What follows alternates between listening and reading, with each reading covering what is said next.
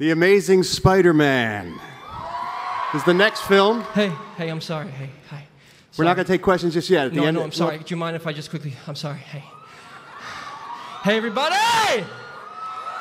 We're going to take questions Yo, at yeah, the end. So We'll I'm take- sorry. Do you mind if I, I say, can I say one thing?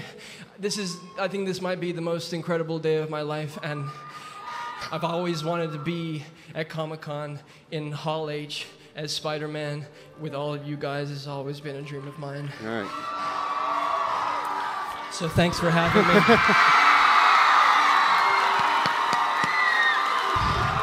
you have no idea. You have no idea how much this means to me. I've always wanted to come here as a fan, and this is my first time, so here I am as a fan. I just want to say a couple of things. I'm Andrew Garfield, and I'm going to be here introducing this panel, this amazing Spider Man panel.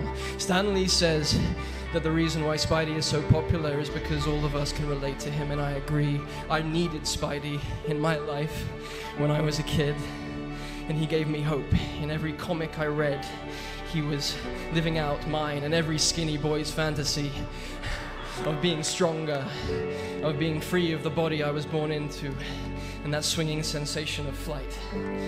And upon receiving his power, unlike most who, who become corrupted, he used it for good. And I think we all wish that we had the courage to stick up for ourselves more, to to stick up for a loved one more, or even a stranger you see being mistreated. And Peter Parker has inspired me to feel stronger. He made me, Andrew, braver. He reassured me that by doing the right thing, i- i- it's worth it. It's worth the struggle. It's worth the pain. It's worth even the tears, the bruises, and the blood. And I, and I, I, I wouldn't be able to stand here in front of you guys right now without feeling that Spider-Man was here with me, with his reassuring hand on my shoulder, making sure I don't fall over and concuss myself. And he has inspired countless people, girls, boys, men, women, all of us. And he has saved lives and he saved my life. And I owe Webhead a lot, and I owe Stan the Man a lot, and I'm humbled to be here, like you do not know, to share the work that we've done with all of you. And this is my first Comic Con, and and